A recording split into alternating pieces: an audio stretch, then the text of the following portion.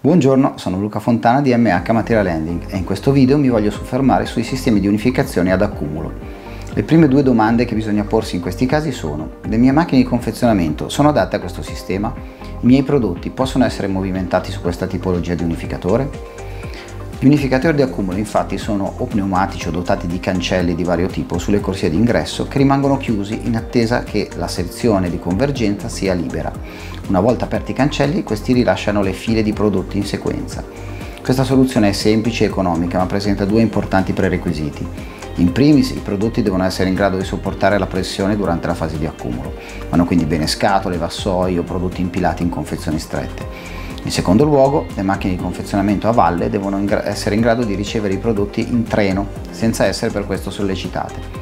All'uscita dell'unificatore i prodotti sono attaccati uno all'altro, ma la velocità del nastro è la stessa di che avrebbero nel caso in cui fossero cadenzati regolarmente e questo spazio è pari alla dimensione del prodotto stesso.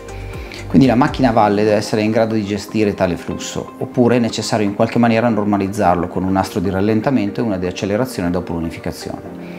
Questa soluzione però richiede più ingombri, due motori aggiuntivi e una logica di controllo più complessa. Se desideri avere maggiori informazioni sui nostri prodotti o scoprire come poter ottimizzare il tuo processo di confezionamento, consulta il nostro sito internet www.mhmaterialhandling.com e i nostri profili Facebook e LinkedIn.